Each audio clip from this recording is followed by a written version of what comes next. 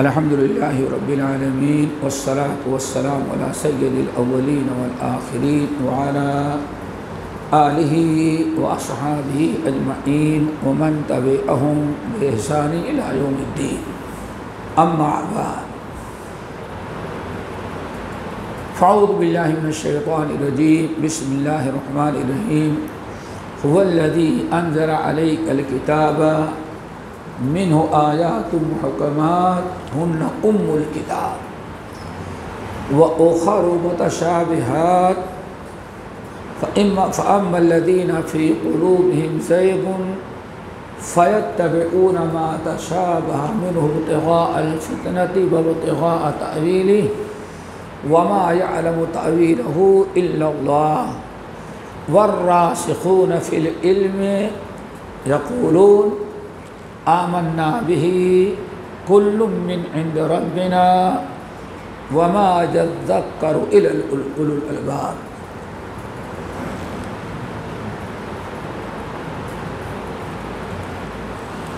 मोहतरम हजरात, दीनी भाइयों, दोस्तों, आज का जो मौजू है अफदात सुना होगा, फितने दज्जाल। अब ये मौजू किस मकसद के तहत रखा गया है, बता नहीं सकता। पहले तो ये चीज़ आप समझें कि कुरान मजीद के जो आयत आयत मैंने सूरत आल इमरान की इब्तदाई आयत पढ़ी है, उसमें रब्बुल आलमीन ने फरमाया,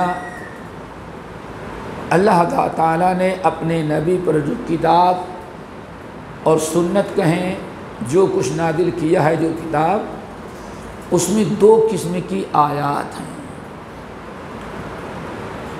फ़ी आयात महकमात, हन्न उम्मुल किताब। पहली किस्म तो आयात किए हैं जो महकम हैं। महकम है और यही असल किताब के अंदर अमल करने वाली चीज़ें हैं। और इन्हीं आयात में सारे मसाइल अल्लाह ने बयान कर दिया। वह ओखर मुतशाबिहात। और आयात की दूसरी किस्म है जो मुतशाबे मुतशाबे या, यानी जिनका माना, जिनका मफहूम वाज नहीं है। वमा या वाज नहीं है। जैसे मिसाल के तौर पर,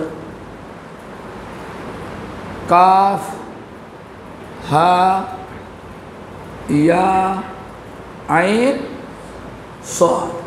कुरान की सूर्य मरियम की पहली आयत है। इनको कहा जाता है हरूफ मुक़त्तात अलग अलग पढ़ा जाता है। काफ, हा आइन स्वाद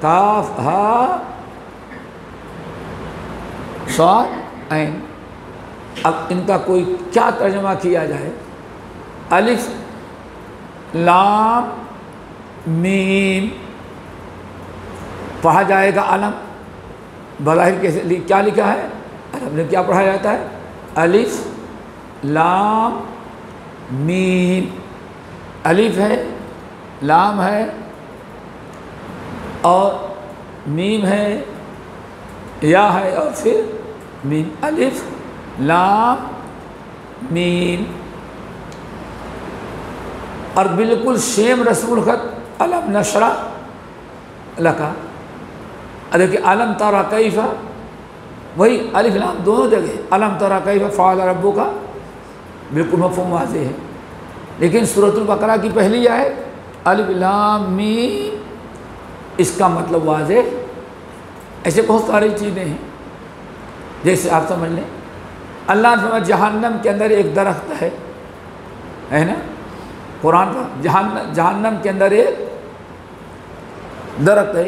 एक तरफ़ आप जानते हैं कि अल्लाह ताला ने जहन्नम की जो आग है, उसका सौ में से एक हिस्सा भी नहीं, आग, दुनिया वाली आग जलाती। दुनिया की आग तो सारे जंगल को जला दे, सारी लकड़ियों को। लेकिन जहन्नम की आग एक दरख्त को ना हो जला सके। दरख्त में फल भी है, पत्ते भी हैं, शाखें भी हैं। वह सोचिए अब आदमी अपनी अकल लड़ाने लगे। अरे भाई जहन्नम के आग के अंदर वो कोई दरख्त ज़िंदा रह सकता है? अब इंसान, अगर सामने वाले चाहे लाइल में तो कहेंगे, बिल्कुल सही कह रहा है। मुशाहिदा है कि आग जो है, दरख्तों को जगह जला देती है। और जहन्नम की इतनी ख़तरनाक आग वो उसमें दरख्त हरा भरा फल लाता रहे। हज़ार एतबार से इंसान गुमराह कर सकता है। लेकिन अगर इंसान रब को तस्लीम कर लिया, रब की ज़ात सिफात। का सही मालूम इल्म है तो कहते क्या भाई इन अल्लाकुल्ले शहन कर अल्लाह हर चीज़ पर कुदरत रखता है भाई। कहा जाए, दुनिया की सारी मछलियाँ खा जाती हैं आदमी को। यूनुस को पेट में लेकर मछली बैठी हुई नहीं खाती। अल्लाह का मामला है।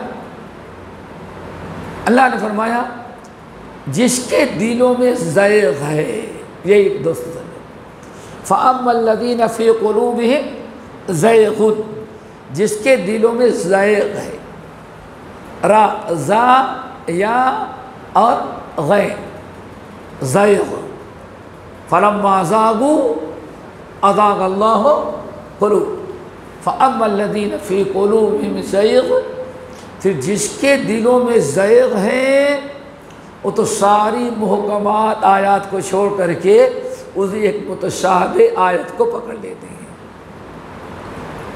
और लोगों के मजलिस में बैठ करके वही मुतशाहब आयात को, भाई अब आप बताइए, या तो गलत माना बताएँगे, उन्हें तो क्या कहेंगे? भाई कुरान को अल्लाह ने अल्लाह ने अकल भी तो दी है सोचने के लिए अकल से सोचा जाए तो कोई वाकई ऐसा हो सकता है कि दरख्त को आग न जलाए।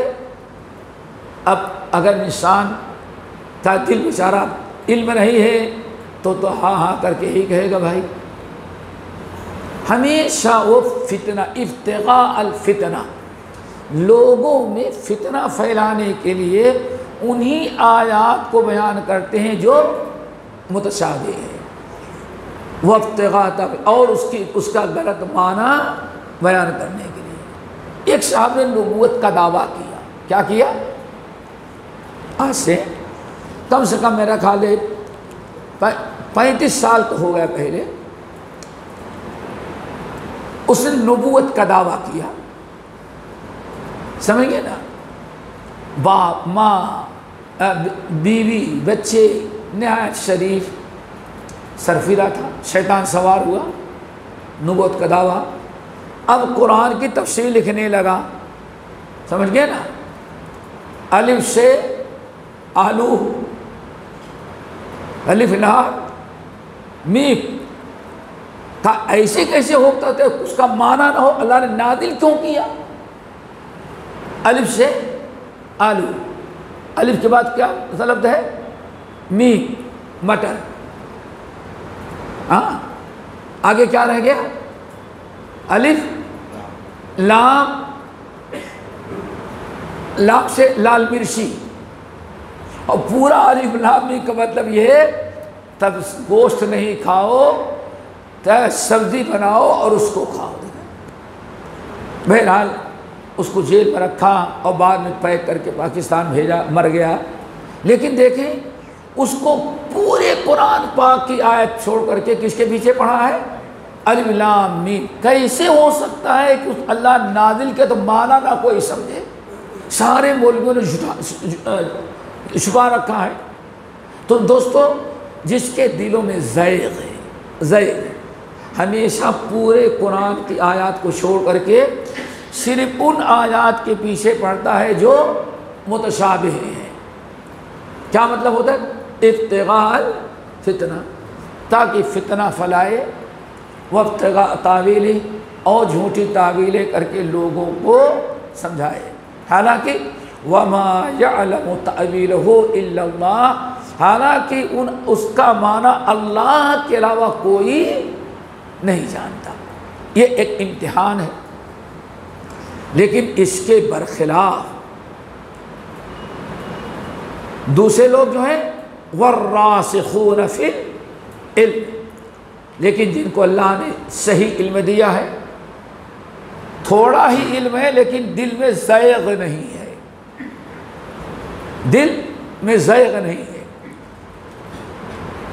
अहले ईमान जो हैं, जिनको अल्लाह ने जैग से बचाया है, जिनके दिल को, वो क्या कहते हैं?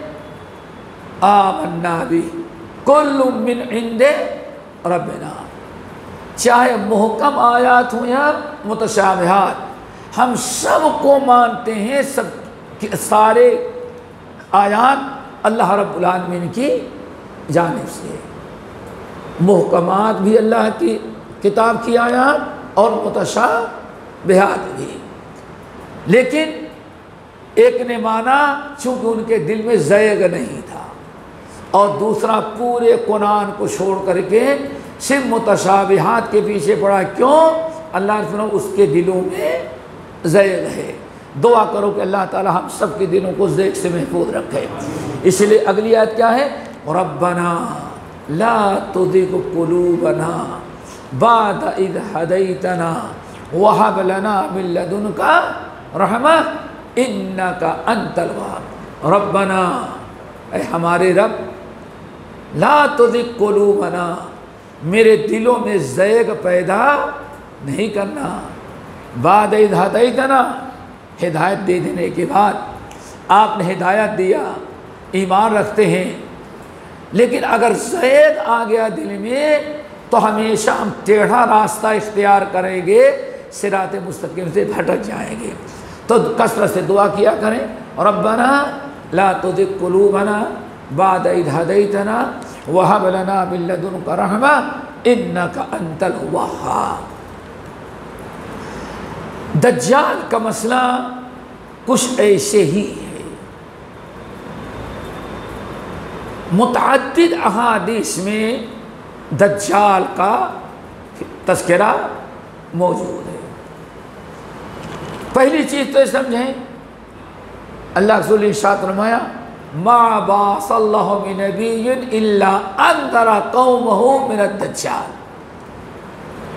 अल्लाह ने दुनिया में जब भी किसी नबी को भेजा तो अल्लाह के हुक्म से हर नबी ने दज्जाल के फितने से अपनी कौम को आगाह किया। इससे क्या पता चला कि दज्जाल की खबर सिर्फ़ हमारे नबी मोहम्मद वसल्लम ने नहीं दिया, बल्कि नबी की अल्लाह ने जितने भी नबी भेजे, हर नबी ने अपनी उम्मत को दज्जाल के फितने से डराया था।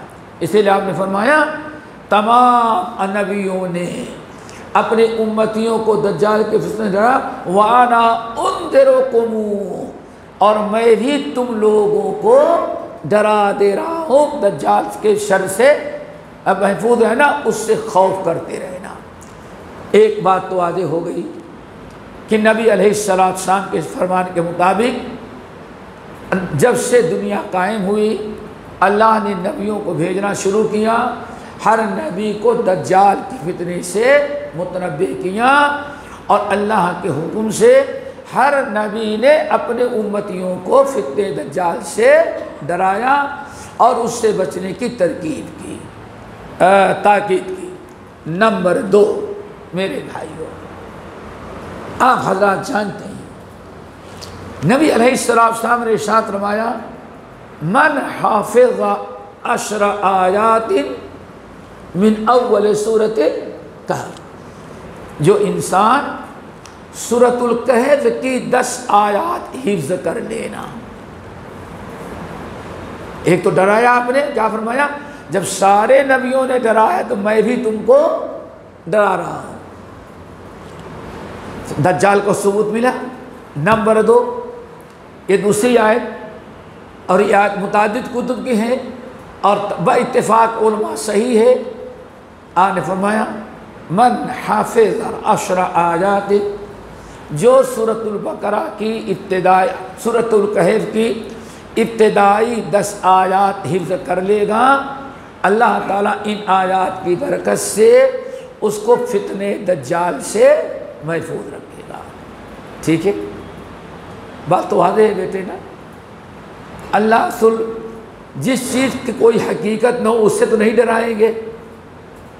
नब, जिस चीज़ की हकीकत होगी, नबी रहसलाम उसी से नंबर तीन, आप हजरात जानते हैं कि नबी रहसलाम हर नमाज़ के आखिर में सलाम फेरने के पहले पहले जो दुआएँ सिखलाई हैं, उनमें एक दुआ क्या है?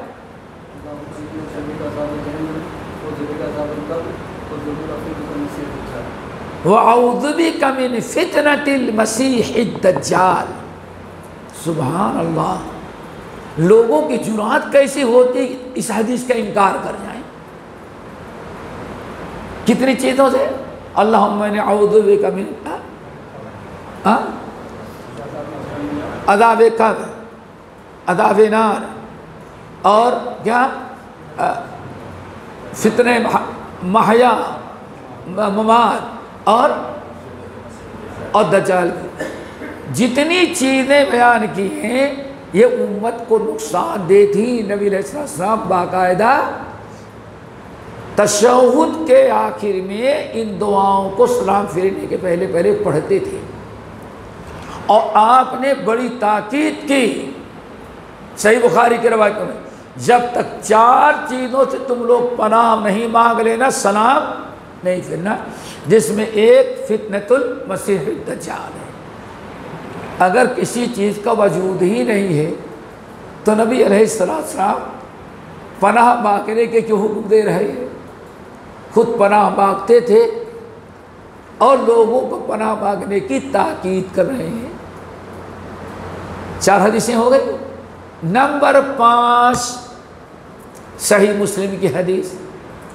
तमीम दारी रदी अल्लाह वाली। कि तमीम दारी रदी अल्लाह हो एक मरतबा अपने काफिले के साथ बड़ी तवील हदीस है। घंटे चाहिए। नबी अलैहिस्सलाम जा रहे। वो सवारी में बैठे। बैठे उसमें। कश्ती में जा रहे थे। कश्ती पता नहीं कहाँ ले जा कर के छोड़ी, जहाँ ना गाँव है, ना कोई आबादी है।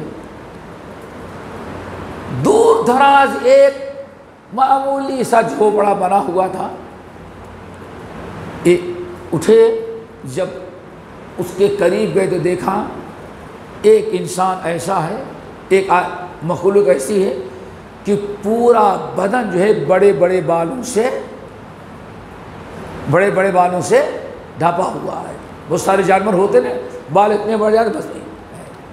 अब बड़े मोटे मोटे रस्सियों में सोने के दंजियों में जकड़ा हुआ है। बड़े जोरदार अंदर जकड़ा हुआ वहाँ कोई एक शख्स रहता था। उससे पूछा, ये कौन है? तुम लोग कहाँ से आए? कैसे यहाँ पहुँचे? कहा, सब क्या बताएँ?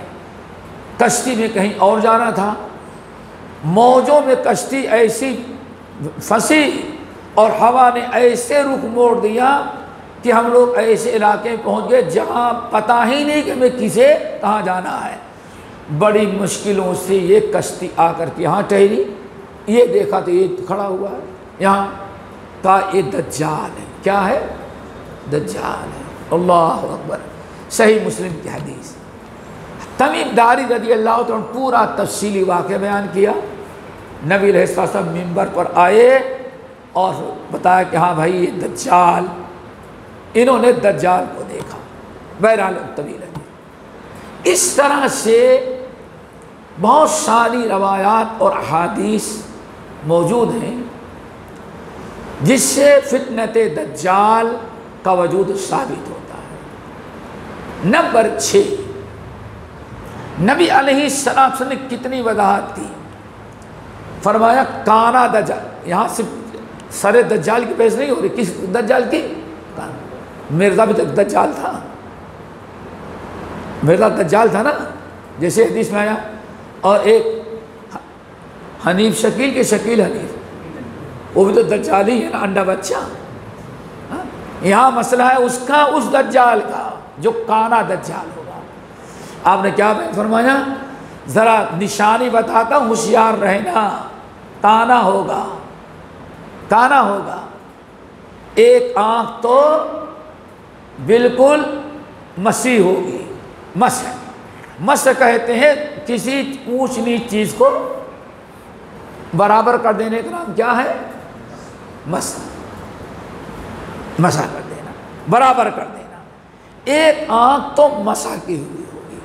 यानी एक आँख ऐसी, एक तो देखें हमारे और आपकी आँख जो है, अल्लाह ने ऐसे बनाया है कि देखें,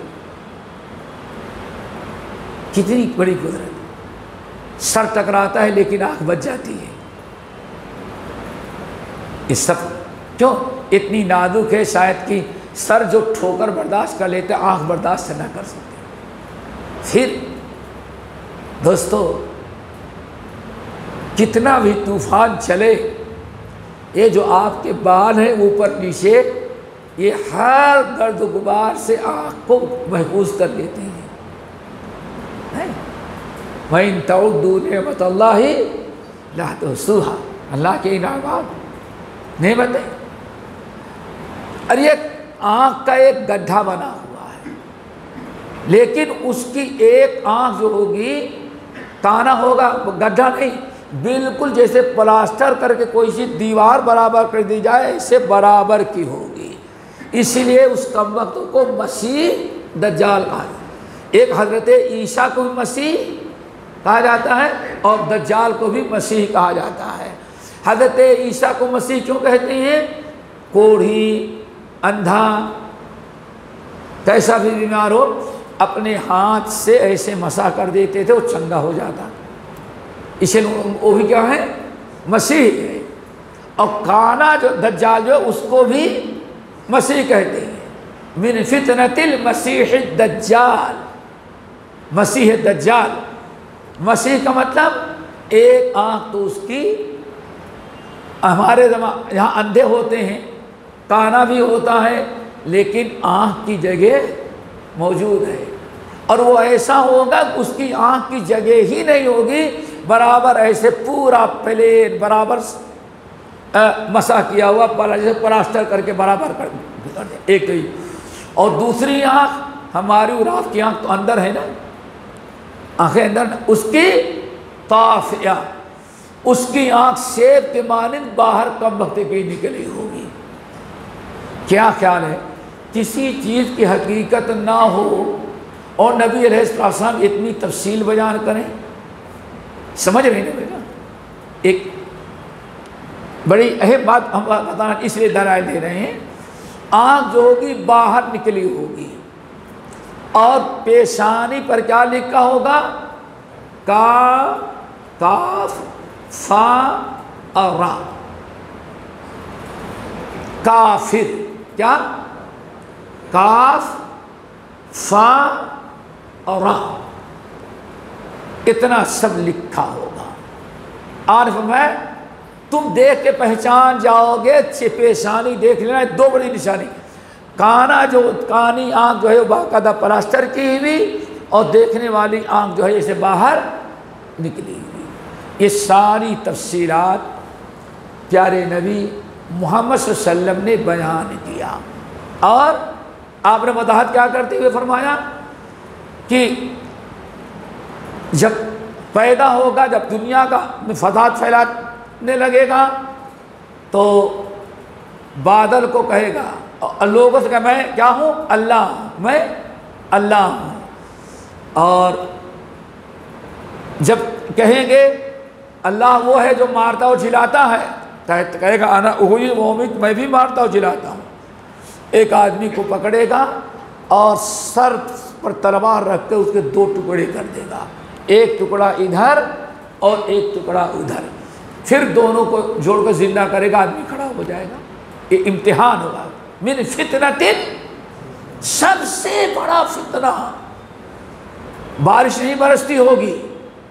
लोग कहेंगे, हमारा रब वो है जो बारिश बरसाता है। बादल को हुक्म देगा, बारिश बरसेगी। कहा, हम ही तो हैं, आसमान वाला तो मैं ही हूँ, आ गया हूँ। अल्लाह सुन खबरदार, उसकी बातों में नहीं आना, ये दो निशान तुम्हारा रब काना नहीं है, इस, एक ऐसा है ये, काना है, काना दज्जाल। तो फरमाया, अल्लाह सुन ले, कि रब जो है, खूबसूरत है, रब काना नहीं है, और ये तुम्हारा जो है, ये दज्जाल, काना होगा, ये शिनाख्त है। उसके पेशान भी लिखा होगा काफिर। इसलिए अल्लाह ने यह निशानी दे दी है ताकि कोई उसके झांसे में और उसके फितने में मुबतला ना हो जाए। बड़ी तवील चीज़ है। फिर आखिर में फसाद फैलाता हुआ, कत्ल करता हुआ, जब बाब लुद पर पहुंचेगा, फसाद फैलाता हुआ, वहाँ बाब लुद तक पहुंचेगा तो असर का वक्त दिमश्क की जाम मस्जिद, जो होगी, असर की अदान हो चुकी होगी। और इतना मालूम होगा, उस इलाके के लोग परेशान होंगे कि दज्जाल पैदा हुआ है और सब काटो गारत हो रही। हम कैसे, कहाँ, कैसे करें? परेशान होंगे। तो ऐसे मौके पर दोस्तों, अब उसके कत्ल का वक्त आएगा। उसके आखिरी वक्त आए। हज़रत दिमश्क के कि जामी मस्जिद पर में अदान होगी, नमाज़ असर का वक्त होगा, जमात इकट्ठा होगी, इकामत कहने के लोग जब खड़ेंगे, खड़े होंगे, इकामत तो किसी की निगाह पड़ेगी मनारे पर, बिल्कुल लाइट, हरा किस्म का लिबास पहने हुए, हज़रत ईसा बैठे हुए हैं। कौन? अल्लाह ने हज़रत ईसा को ज़िंदा उठाया है ना? ज़िंदा उठा लिया है, आसमान पर हैं और अब वो नादिल होंगे अल्लाह ताला ने उनको उतार के कहाँ बैठा दिया है? मशरकी मनारे पर बैठे होंगे। और बेहतरीन किस्म का, समझे यही कुछ ग्रीन कलर, लाइट बिल्कुल लिबास पहने होंगे। जैसे लोग नमाज़ तो शुरू करना चाहें तो निगाह पढ़ेगी वो बैठ हज़रत ईशा आएँगे। फिर दो फरिश्ते आएँगे, दो फरिश्ते आएँगे और दोनों के कंधों पर ईसा साहब अपना दस मुबारक रखेंगे और दोनों फरिश्ते इतमान के साथ उतार करके सफ मिला के खड़ा कर देंगे। ये हज़रत ईसा एकामत हो चुकी होगी। जब लोगों को पता चला कि हज़रत ईसा आ गए तो लोग, इमाम तो हैं, लेकिन कहेंगे ईसा आप नमाज़ पढ़ाएँ, आप नमाज़ पढ़ाएँ। ईसा शाम कहेंगे, नहीं, मैं नमाज़ नहीं पढ़, इस उम्मत ही का कोई आदमी नमाज़ पढ़ाएँगे। ईसा नबी हैं, पैगंबर हैं, बिल्कुल पहली सफ के सेंटर में, पहले सफ की पहली सफ के सेंटर में एक साहब नौजवान खड़े होंगे, जिनका नाम मोहम्मद इबिन अब्दुल्ला होगा। मोहम्मद इबिन अब्दुल्ला होगा। उनको बनाएँगे कि ये इमामत कराएँगे। क्यों? नबी अलैहिस्सलाम ने साथ रमाया कि क़यामत उस तक तक, वक्त तक नहीं आएगी जब तक कि मेरी उम्मत में एक नौजवान पैदा पैदा ना हो जिसका नाम मेरे नाम मेरा नाम होगा, बाप का नाम भी मेरे बाप के नाम का होगा, और उसकी माँ का नाम भी मेरी माँ का नाम होगा। उन्हीं को कहा जाता है इमाम वो अभी वाला नहीं इमाम महादी समझिए ना? वो इमाम महादी असली। इमाम महादी होंगे। अच्छा ऐलान किया, आप नमाज़ पढ़ाएँ। वहीं से हज़रत इमाम महदी की इमामत का ऐलान होगा। सुबहान अल्लाह इस उम्मत का मकाम तरह देखें। हज़रत ईसा क्या कहते हैं? नहीं, मैं नहीं इमामत कराऊँगा। इसी उम्मत का, हमारे भाई मोहम्मद के उम्मत का कोई आदमी नमाज़ पढ़ाएगा और अल्लाह ताला का हुक्म होगा ये खड़ा है वहीं से नमाज़ पढ़ाएँगे मोहम्मद बिन अब्दुल्ला, और वहीं से सलाम फेरते ही जिहाद का ऐलान हो जाएगा। एक सरफिरा पाकिस्तान में पैदा हुआ तो आगे डॉक्टर लगा हुआ है। समझ गए ना? वो कह रहा था जज्जाल यहाँ पैदा होगा, अफ़गानिस्तान और पाकिस्तान के इलाके गैर में। वो होगा और मैं उसका नायब बनूँगा ये। कबर में मर गया तसवुफ सूफियत ले ले करके सारा तसवुफ पावर हाउस बना करके वह तदुल समझा रहा था लोगों को। समझ? गया। तो पता चल गया, इमाम महदी वहाँ नहीं पैदा होंगे। ये वो कहते हैं जो हदीस से जाहिल होता है, हदीस का मुनकर होता है, जिसके दिलों में जलालत तो गुमराही होती है। ऐसी बातें वो करता जो खुद अपने आप को नुमाया करना चाहता है। अल्लाह ताला ने ऐसे लोगों के सर से महफूज कर दिया। लेकिन कैसे आज बड़ी चले ये भी सुनेंगे। हाँ हाँ। डॉक्टर साहब ने आज पंद्रह साल पहले कहा था तो इसका मतलब डॉक्टर साहब के पास वही आती थी। मेरे भाई ये सब बेकार से बातें हैं जरा समझो। मनहज समझो किताब सुन्नत समझो। जिसके दिलों में जैग होता है वही किताब सुन्नत को मोड़ करके अपना बनाते हैं। इसीलिए अल्लाह इकबाल ने क्या कहा था? खुद तो बदलते नहीं कम वक्त, खुद तो बदलते नहीं कुरान को बदल देते हैं। अपने मतलब के लिए, अपने तहरीर को मज़बूत करने के लिए कुरान हदीस को बदल देंगे, लेकिन अपना अकीदा मनहज और जो अल्लाह ने दिलों में जैक डाला है, उस जैक को छोड़ने के लिए तैयार नहीं होते। मेरे भाइयों, वहीं से ऐलान होगा और हज़रत ईशा अरे महदी आगे बढ़ेंगे। बड़ी सफोज होगी। और अल्लाह से फरमाया, बाबे लुत बाबे लुत तक पहुँचेगा और वहीं उस कम वक्त का खात्मा होगा, जहन्नम में जाएगा। और फिर ईसा सलाम, किताब सुन्नत, दोबारा यही किताब सुन्नत। कौन सी? कौन सी? यही तीस बारे वाला कुरान ना? और कौन सी हदीस? नबी सल्लम की हदीस, यानी मुकम्मल मोहम्मद सल्लम की हुई तालीमत को दुनिया में फिर नाफिज करेंगे। हालाँकि तौरात, इंजील तो मौजूद है वो भी नबी है, लेकिन हमारे नबी के मकाम है। अल्लाह के रसूल ने क्या फरमाया था? लौकाना मूसा हैन मूसा भी ज़िंदा होते तो मेरी इत्तबा करनी पड़ती। मेरी इतवा के अलावा और कोई चारकार नहीं था और फिर सूर आल इमरान की आयत, माँ, अल्लाह ताला ने बयान फरमाया, जितने अम्बिया अल्लाह ने भेजे, हर नबी सहद लिया था, जाइए, आपको एक शरीयत दे रहे हैं, एक किताब दे रहे हैं रिसाला तो नबूत से नवा रहे हैं, है? लेकिन अब का अपनी नबूत रिसालत पर दावत देते रहे, अगर हमारे आखिरी नबी मोहम्मद आ गए तो सबको छोड़ करके, लतुमिनुन्नबिही वला तनसुरुन्ना लतुमिनुन्नबिही वला तनसुरुन्ना अगर तुम्हारे आपके मौजूदगी में हमारे आखिरी नबी मोहम्मद सल्लम आ जाएँगे तो आपको भी अपनी सारी चीज़ें ख़त्म करके हमारे नबी ही पर ईमान लाना पड़ेगा। उन्हीं की इतबा करनी पड़ेगी, उन्हीं की तायद करनी होगी। मेरे ख्याल से बात समझ गए होंगे। जब ईसा आए, इमाम महदी पैदा हो तो भी किसकी इतबा मोहम्मद की।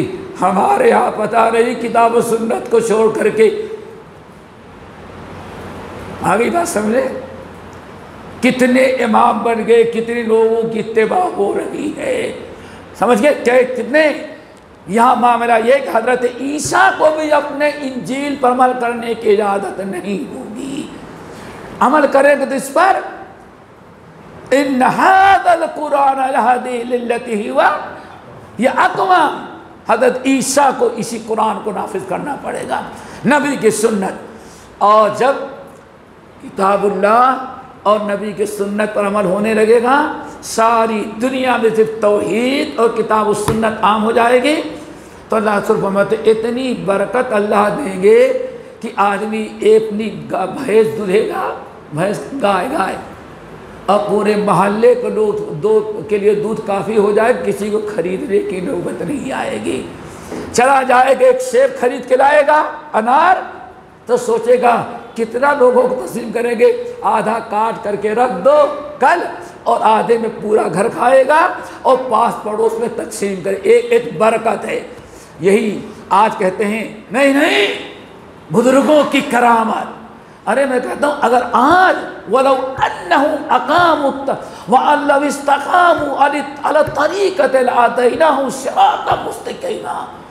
हाँ अगर आज भी लोग सिरात मुस्लिम किताब सुन्नत पर आ जाए तो अल्लाह फरमाते, माल दौलत भी देंगे और ऐसा अमन अमान पैदा कर देंगे कि जब सो जाएँगे तो हम बादल भेजेंगे बादल चुपके से बारिश बरसा देगा, ज़ोर से गरजेगा नहीं ताकि हमारे बंदों की नींद खराब ना हो जाए। अल्लाह अकबर।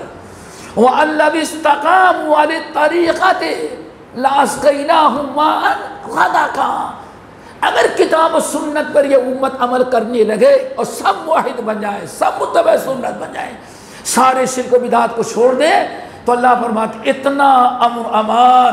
मीज़ाए तो दूर की बात है। पुलिस के फायरिंग तो दूर की बात है। अल्लाह पर इतना अमन अमान हम पैदा कर देंगे कि रात को चुपके से बारिश बरसा देंगे, जिससे पैदावार बराबर होती रहे।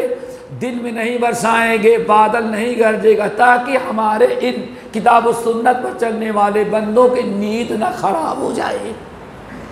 लेकिन हम सब कुछ करने के लिए तैयार हैं। रोज़ा भी रख रहे हैं ताकि फ़लस्तीन का मसला हल हो जाए। पता नहीं ये कौन सी सुन्नत है रोज़ा रखना मुसीबत के लिए। समझ गए ना? और एक साहब, मेन चीज़ दुआ है साहब दुआ का मज़ाक उड़ा नखरे कर रहे हैं। हो बना करके। इतना जोरदार आवाज़। ये नहीं सोचते कि दुआ करने वालों का मज़ाक, दुआ का इस्तेदा कर रहा है। और दुआ का इस्तेदा कुफर तक इंसान को पहुँचा देता दुआ दुआ का इस्तेदा दुआ का मदार। समझते हैं कि, है? अल्लाह हज़रत इब्राहिम सलाम पूरा मुल्क एक तरफ़ है, और जब आग में डाले जाने क्या पढ़ते हैं? हसबी। पढ़ा ना? किसको पुकारा? ये नहीं कहा अल्लाह कोई एटम बम दे दे ताकि मार के ताक उसको उसको ख़त्म करने। किसको? नमरूद को, नहीं हसबिया कर ले नमरूद जो कहना है। मैं तो रब से कहता हूँ, मेरा रब मेरी हिफाजत करे। बचाया कि नहीं बचाया? अल्लाह अगर हज़रत नू अलैहिस्सलाम मछली के पेट में है। किस चीज़ की ज़रूरत थी? दुआ की, ला इल्ला अंता, सुबहानक इन्नी कुंतो मन जालिमीन। प्यारे नबी मोहम्मद अलैहि वसल्लम फरमाते हैं, अगर किसी इंसान पर कैसी भी बला कैसी मुसीबत आ रही हो, और पढ़े, अल्लाह अल्लाह रबीला उसर को भी सैया तोहीद का मनवाना है। अरे अल्लाह, जालिम बहुत हैं असले बहुत हैं कुआ ताकत सब कुछ है। लेकिन, अल्लाह अल्लाह रबीला अल्लाह मैं किसी, तेरे अलावा किसी को अपना माबूद नहीं अल्लाह फरमाते हैं, अगर बंदा पढ़े तो उसकी सारी बनाए टल जाए। तो मज़ाक एक साहब दुआ का इस्तेदा करें, मज़ाक करें। क्यों? ना यहाँ ईमान है और ना यहाँ ईमान है। पगड़ी भी बाँध लेगा कभी अजमेर में ग्रीन कलर की और कहीं शियों के यहाँ जा कर के ब्लैक कलर की पगड़ी मान लेगा। जे बा मुसलमान, अल्लाह अल्लाह और बा बरहमन राम और रहीम दोनों चाहिए। सिर्फ़ रहीम चाहिए, राम नहीं चाहिए। दो दो रंगी छोड़ दे, एक रंग हो जा, सरासर मोम हो जा सद हो जा। ये दो गला पॉलिसी मुनाफिकों की अलामत होती है। बहरहाल दोस्तों हजर किताब सुन्नत खत्म किया गया, फिर इस तरह से मामला ख़त्म होगा। ये थोड़ी सी तफसील मैंने फितनत दज्जाल पे। अब चंद बातें। नंबर एक कुछ लोग ऐसे पैदा हुए कहते हैं कि नऊद बिल्लाए दज्जाल वगैरह कोई वजूद नहीं था। नबी साहब ने यहूदियों से बात सुनी थी उनकी बातें हम लोगों को बता दी। ला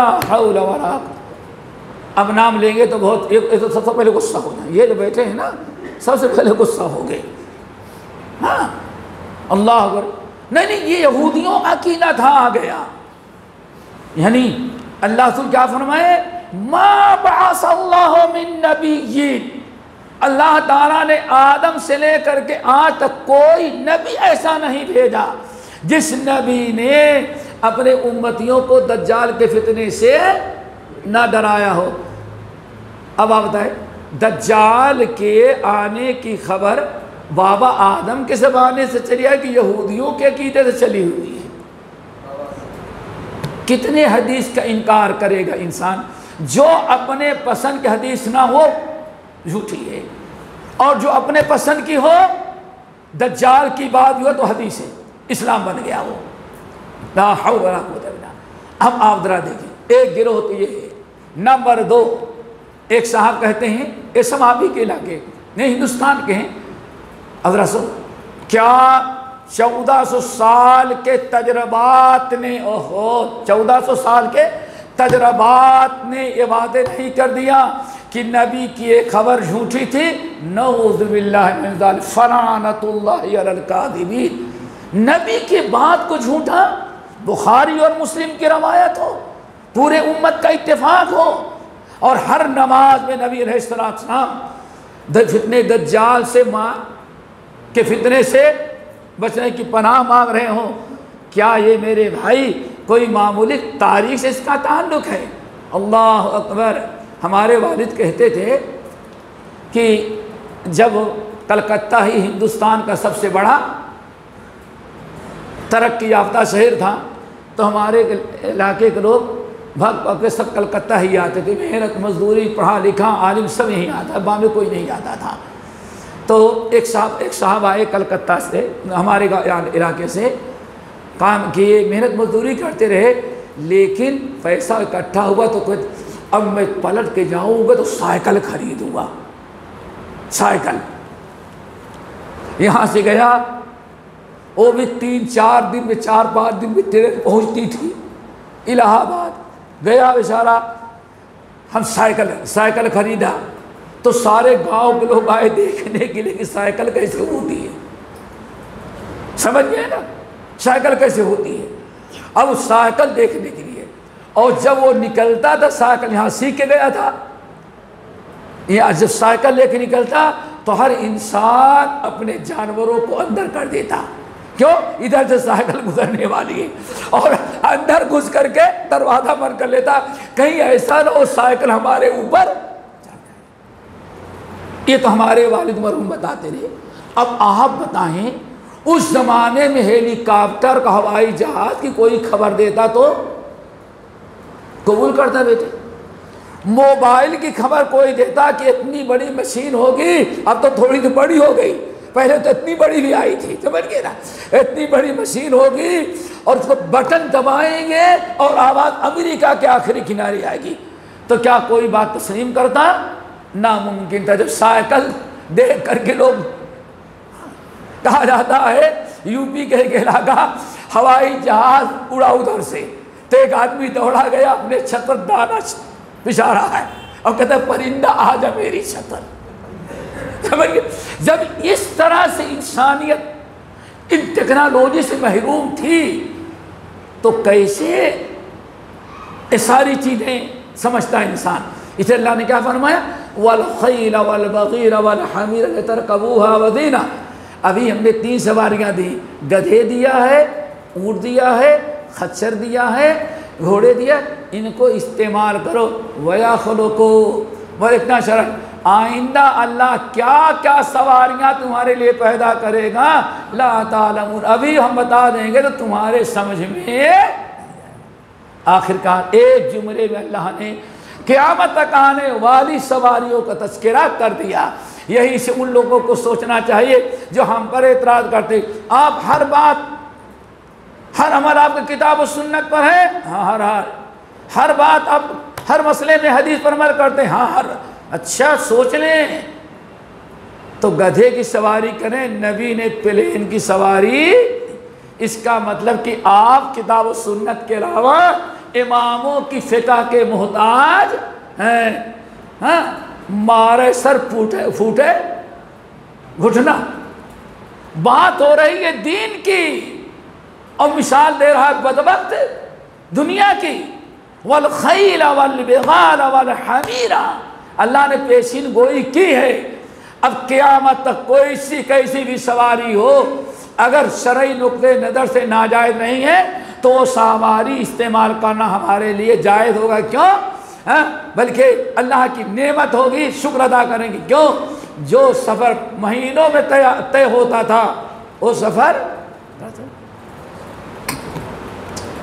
बॉम्बे से कोई पढ़ने के लिए हमारे यहाँ से, जिसका बड़ा ताल्लुक कलकत्ता से था, एक थे बंगाल से था, हमारे यहाँ थे मौना अब्दुल्ला सिद्दीकी, मौना अब्दुल्ला सिद्दीकी। ये इलाहाबाद से पढ़ने के लिए गए थे तो पैदल गए थे दिल्ली। कितने? पैदल गए। और 18 साल पढ़े। 18 साल पढ़ के फिर पैदल आए। और तब दावत और तबलीग करते हुए वो आखिरी स्टाफ उनका राजशाही होता था। लाठी हाथ में होती और राजशाही तक वो तोहहीद सुन्नत की दावत देने के लिए जाते। और फिर वहाँ से पैदल लौट करके वो इलाहाबाद यूपी तक जाते थे। फिर आखिर में मुबारकपुर सुना होगा आदमगढ़ डिस्ट्रिक्ट में वहाँ एक गाँव अमलो है वहाँ उन्होंने एक अपना मरकज बनाया। इस तरह से मुश्किलात चलती रहीं। तो मेरे भाइयों कहने का मतलब ये है कि हमें इताना ना दिया जाए कि आ, अगर हज सुन्नत पर अमल करना है तो सुन्नत एक आप गधे ही की सवारी करें। ट्रेन की, प्लेन की, हेलीकॉप्टर की और ट्रेन की सवारी ये सब बेकार बातें हैं। अल्लाह ताला ने वादा किया था, हम इसी पैदा करेंगे। और अब पता नहीं अभी और क्या सवारियाँ पैदा होगी। अल्लाह जानता है वो सब की नेमत होगी। और अल्लाह ताला इतना दे कि हम सब लोग इस्तेमाल भी कर सकें। और अल्लाह ताला का शुक्र दें कैसे? अल्लदी सखर लना हादा, वमा कुन्ना लहू मुकरिन व इन्ना इला रब्बिना लमुनकलिबून। बहरहाल दोस्तों, एक तो ये, अब दज्जाल का मसला, क्या बात हो रही थी?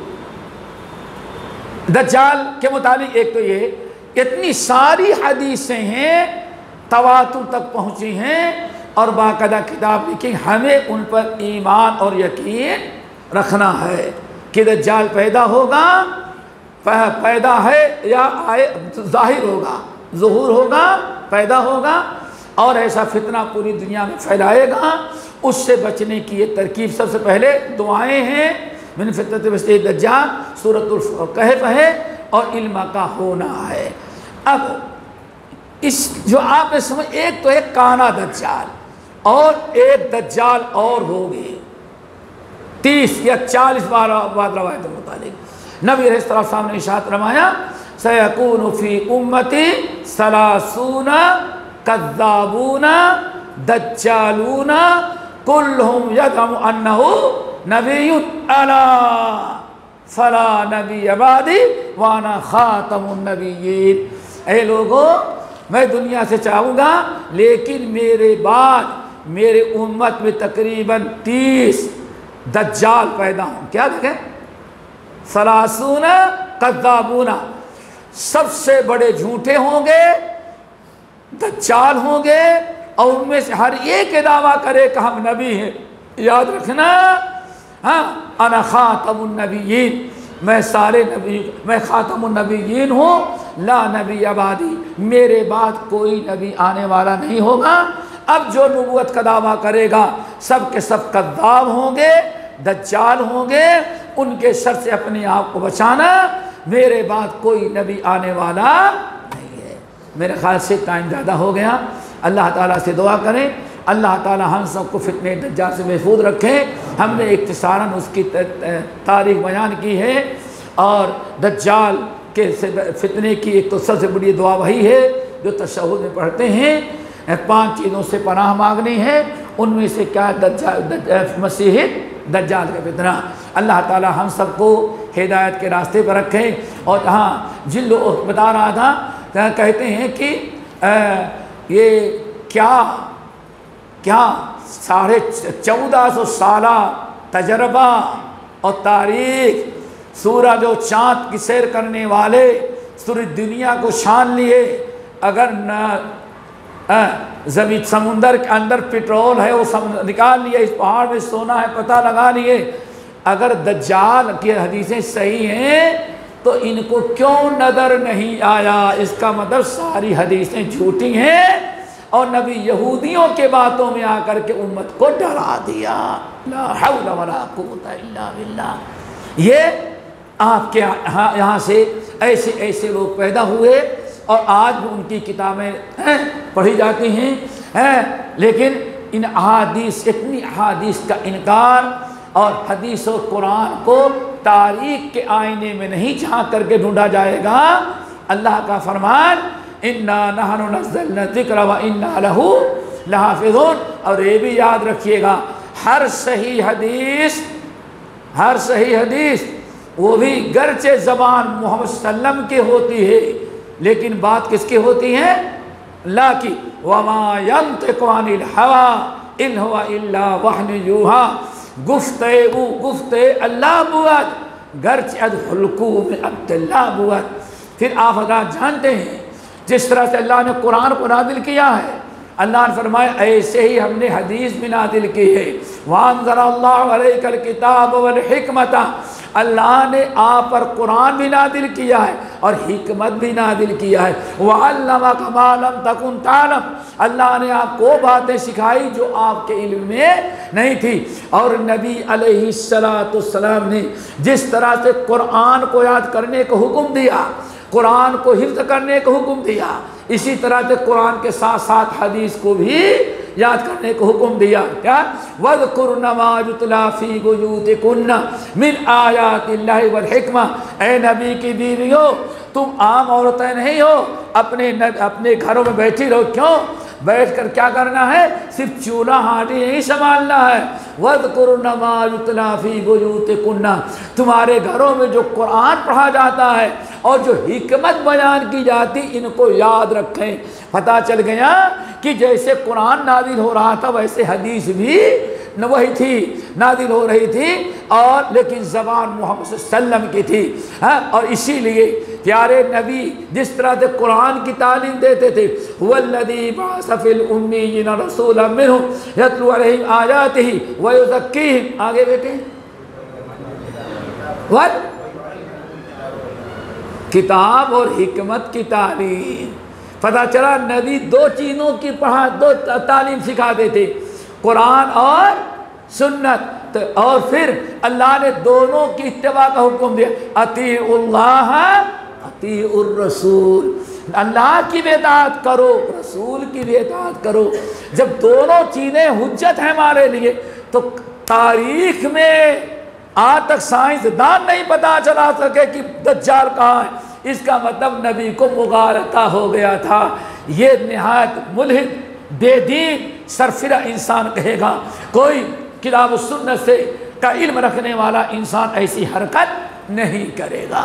दुआ करो अल्लाह ताला, हम सबको अकीद तोहीद और नबी अलैहिस्सलाम के हर हुक्म के सामने गर्दन झुका देने वाला बनाए। चाहे चाहे हमारी अकल में आए, हमारी अकल में न आए। अकल का एतबार नहीं यहाँ सनत का एतबार है। समझ गए ना? इन्ना जम हो वला ताजल ला तुहर्रिक बिही लिसान का लिसान का लिताजल भी इन्ना जमा हुआ कुरान आगे क्या है हाँ? नहीं नहीं फतब कुरान सुम्मा इन्ना अलैना बयाना हम तीस पारे का कुरान आपके सीने में महफूज कर देंगे और जब याद हो जाएगा सुम्मा इन्ना अलैना बयाना फिर हम कुरान पर कैसे अमल करें, वो भी हम ही सिखाएँगे आपको। पता चला कि हदीसें भी किसके फरमान है? अकल से, दौक से विजदान से, तजर्बे से न कुरान समझा जाएगा, न हदीस को सेहत और ज़ौफ़ का हुक्म लगाया जाएगा। अल्लाह ताला सब कमल की तोफ़ी नसीब फरमाए और ऐसे बार बार मिल बैठने की तोफ़ी दे।